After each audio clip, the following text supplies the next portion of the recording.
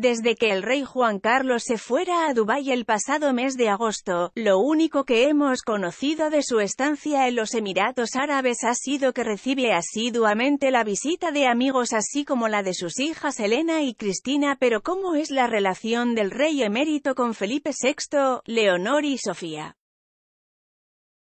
Muchas son las informaciones que aseguraban que don Felipe había roto de manera radical con su padre a consecuencia de los escándalos, lo que suponía que sus hijas tampoco mantenían ningún tipo de relación con don Juan Carlos pero nada más lejos de la realidad.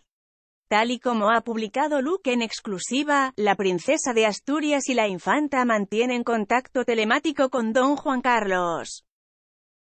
El pasado 5 de enero, coincidiendo con su 83 cumpleaños, el emérito recibió una llamada muy especial, la de sus nietas Leonor y Sofía.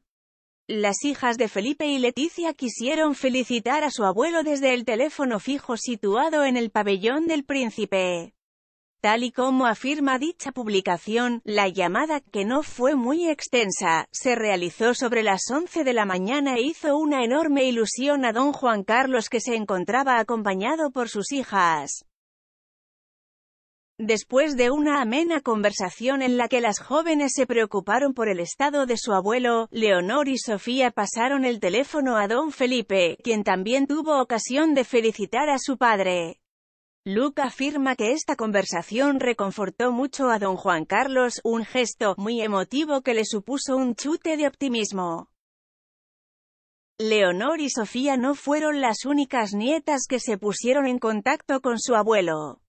Froilán, Victoria, Juan, Pablo, Miguel e Irene siguieron sus pasos y no dudaron en felicitar al emérito.